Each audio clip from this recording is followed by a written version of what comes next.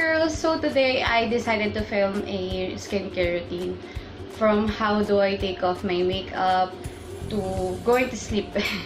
so yun, yung sasabihin ko lang sa inyo yung mga normal kong ginagawa kung paano ko natanggal yung makeup ko hanggang sa pagtulog ko, kung paano, ano ba yung ginagawa ko sa gabi, yung mga ganung bagay. So yan, let's start. Um, uwi ko lang galing school, so naka-contact lens pa ako. Pag ganito, minsan lang ako mag-contact lens, minsan naman din ako nagko-contact lens din kasi nakakatamad. Tsaka minsan, kasi nagkakaroon ako ng dry eyes. Malabo, nga pala, for your information po, malabo kasi yung mata ko kaya lagi ako naka-contact lens. Um, ang grado ng mata ko 300. diba? So, yan, tanggal ko lang yung contact lens ko.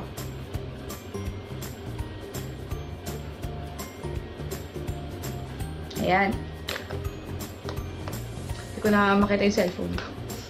After ko mag magganyan, maghugas muna ng kamay bago magtanggal ng contact lens. Um, alam niyo ba to? Cotton pads, yan. Medyo mahal nga to eh. That yung bulak-bulak na lang. Bumili ako one time, siguro sumobra ko sa budget ko para sa shampoo.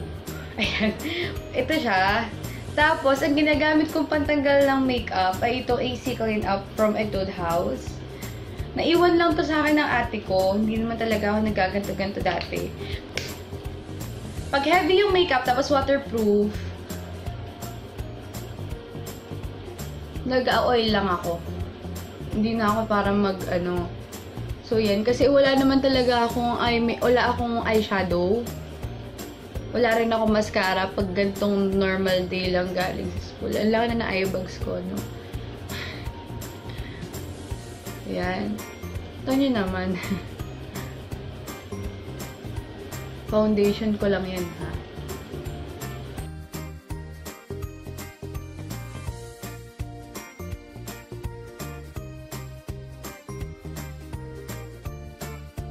ko lang muna yung buhok ko. Alam niyo, ang mga panalig dito sa amin, laging nananakaw. Hindi ko alam kami kami na dito nananakaw pa. As in, talagang wala sa kahit kanina sa amin. So, ito lang gagawin.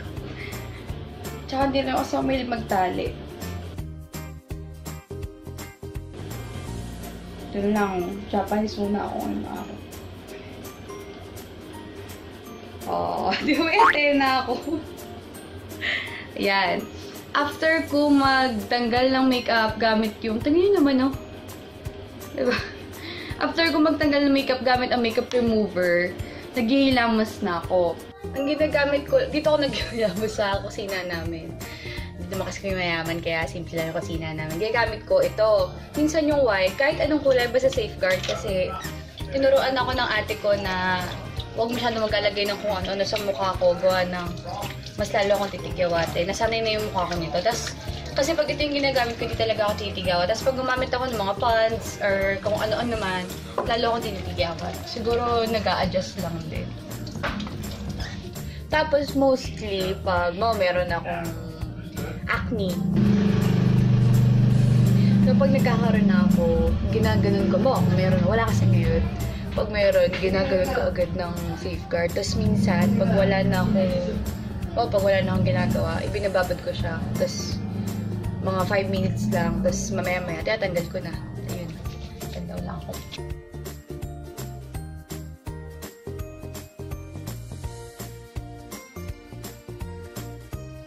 Oh. Laking banyo yung kwarto ko. Simple lang ang kwarto ko. Ano tayo sa filming.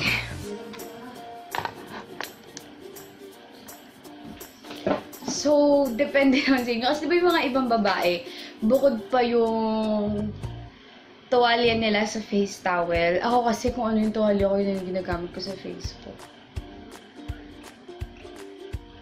Suggest ko lang din, huwag kayong masanay na ganun. Yung, yung pag ganyan, yung, ano nyo, yung pag ganun, wag na wag. Hanggat maaari tap-tap lang, ganun. Kasi, mabilis mawala yung elasticity ng balat sa mukha natin. Kaya dyan mostly nauuna yung wrinkles.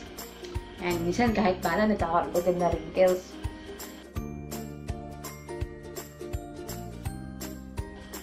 Ang pangit ko, no? Ayan, yun ang skin ko. Wait lang, wala pala ilaw. Sorry. Ayan. wala pala ilaw kanina. Ngayon ko lang naisip, pinabuksan yung light. So, yan. Yun yung skin ko pag pag walang-wala ng kahit ano. So, may nagdag ako sa skincare routine ko. Um, kagabi ko lang siya na-try isang araw pa lang. Sobrang nagandahan ako sa kanya kasi na-tighten niya yung pores ko. Hindi ko alam kung sa kanya yun. Pero feeling ko sa kanya, sa kanya lang naman ang galing. Hindi. Sa kanya, makakanya ako parang tawa. Matagal na sa amin to. Eh, nakita ko sa isang vlogger. Nalimutan ko yung pangalan ng vlogger. Nakita kong pinakita niya to, pero di niya ginamit. Sabi ko, meron ako nun, ah, di ma-try nga. Galing siya sa Human Nature. Natural Sunflower Beauty Oil. Eh, ayun.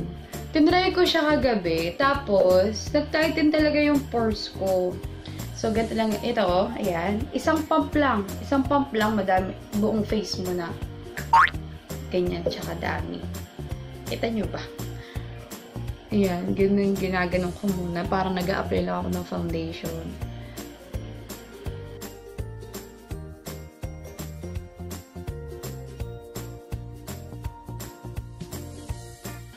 Ang sarap niya sa mukha. Ewan ko, normal lang na oil, pero ang sarap niya i-massage sa mukha. Nakaka-relax.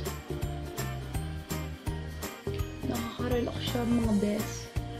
Kaya mukha ka lang nag-oily. Ano? um, ito, ina inahayaan ko lang siya dyan for 30 minutes. Minsan nanood ako movie, nag-Facebook lang ako, nagsalamin ako, wait lang. Ayan. Na nagsalamin ako kasi hindi ko makita yung cellphone ko. Hindi ko gusto nakatingin. So, yan. Meron pa rin yung ano ah, meron pa rin yung sunflower oil kasi wala pang 30 minutes. Um, isasuggest ko pa uli na another additional sa skincare routine ko ay laging tubig, tubig, tubig, tubig. Water. Alam nyo, go ka tubig. As in, kakain kami sa fast food mas pipiliin ko yung tubig. Parang, mura kakamura na ako sa in-order ko. Healthy pa, ba diba? Gawa rin ng balat ko. Sobrang dry skin yung balat ko, yung whole body ko. Sobrang dry skin niya. Tapos yung face ko naman, dry na oily. Alam niyo yung, yung T-zone niya, oily. Tapos pagdating dito, dry na dry. Ang pinaka the best na solution para sa dry skin ay water. Tsaka alam ko nakakalighten din ng under eyes yung under eye area mo, yung mga eye bags mo, nakaka-lighten daw. Tapos, yun, talagang healthy siya. Tapos, may isa pa ako sasuggest sa inyo. Sa gabi, pag nag-toothbrush ako, after siya after kumain, tapos pag wala na akong balak talagang mag-midnight snack, ganun. Um, pag nag-toothbrush na ako, sinuggest sa amin to ng biosci teachers ko biological science. Pa nating mag-toothbrush, akala natin pag natulog tayo, pag gising, dapat malinis. Kasi malinis naman yung bibig ko, di ba? Parang, ay, bakit mabaho pa din? Di ba may mabaho pa rin yung, ano natin, yung bibig natin? Um, suggest ko sa inyo na after nyo mag-toothbrush, uminom kayo ng isang basong tubig. As in, pag gising mo sa umaga, hindi na, talagang mabango, mabango pa, hindi mabango mabango, pero walang amoy yung bibig mo. One thing pa, pag gising mo sa umaga, mag-hydrate ka agad ng sarili mo. Pag-gising na pag-gising mo, uminom ka tubig. Sabi, nakaka lower ng risk sa cancer, nakakaano din ng UTI kasi di ba magdamag, hindi naman tayo naihi for minsan for 12 hours nakakatulog masama yung 12 hours ha. For, for 8 hours hindi ka naihi, di ba? Unless magising ka. Yun, kasi di ba pagising mo minsan masyadong madilaw yung ihi mo, maganda uminom ka muna ng tubig. Hindi lang na na-lower yung risk ng cancer mo, maganda pa yung skin mo, glowing talaga. Yun, dapat mahilig ka talaga sa tubig. Guys, so napanlawan ko na yung yung oil. Nalimut. Tapos nag-toothbrush na rin ako. Tapos uminom na rin akong tubig kasi after ko ngayon, gagawin ko, maglalagay na ako nitong moisturizer. Nilalagay ko araw-araw pag nag-makeup ako. Nilalagay ko rin siya sa gabi. Kasi nga, nakakawala rin siya ng oil para rin, kasi di ba dalawang beses, halos dalawang beses ako nag, ano, naghilamos. Tapos medyo nakaka-dry kasi talaga yung safeguard. Ayan.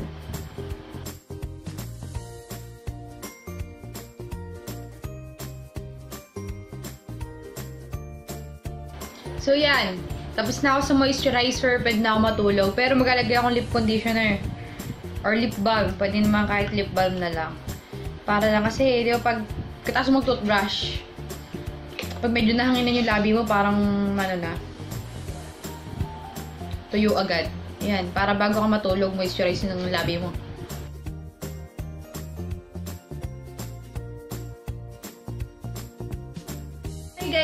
Yun lang yung skincare routine ko pagdating ng gabi at mula pag uwi ko hanggang pagdating ng gabi or sa gabi pag bala ko nang matulog. Ang dami no? Hindi man siya madami, di ba? Marami lang ako in-explain. Daldal ko kasi. Kung nga alam, daldal ko, dahil ko sinasabi. So, yun.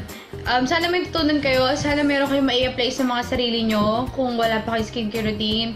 Tapos kung magsimula na kayo maghanap ng skincare routine nyo na papasok, patok sa skin nyo, sa skin type na meron kayo. Um, ayun, alagaan nyo yung mga sarili nyo. Lalo kung mahilig kayo mag-makeup kasi nakakasira rin ng mukha ang makeup. Dapat talaga may skincare routine ka. Please start taking care of your skin now. Talagang hindi madali. Pag, pag dumating yung panahon na pangit na, tapos sabi mo sa mo, sana pala ganun ganyan. Simulan mo na. Pero wag na wag na wag kang basta lang try na try ng products. Hanggat maaari, mahal ka reviews. Tapos, kung bata ka pa, wag na wag ka munang magka-try ng mga, ng mga pads, ganon, toners, wag muna. Enjoy mo muna yung skin mo. Siguro pagdating mo na 18, tapos parang medyo, oh, napapansin mo umu-oily na. Kasi nung bata ko, di ma-oily yung mukha ko. Napansin ko siya medyo nagdalaga na ako. Wow, nagdalaga na. nagdalaga siya. So, yun. Um, nung nagdala-dalaga na ako, siya lang yun. Tapos, dun ko lang na-find out yung mga skincare routines. Tapos, hinay-hinay ka lang. Huwag ka ding kung maganda na yung mukha mo, huwag kang sitry na try, lalo na masira yung mukha mo. So, yun lang po. Sana marami kayo natutunan. Sana nagustuhan nyo. At salamat sa panonood ng video na to. At please go check out my other videos, my other makeup tutorials. And also, please like this video if you think it's helpful. And please subscribe to my channel if you think helpful yung mga sinasabi ko, may sense ako. Kung gusto mo lang subscribe. Tapos share this video to those who you think needs it. Tapos yun lang, wala na po ako sasabihin dahil napakadami ko na sinabi, napakadaldal ko sa video na to. Maraming salamat, maraming maraming maraming salamat sa panonood and goodbye.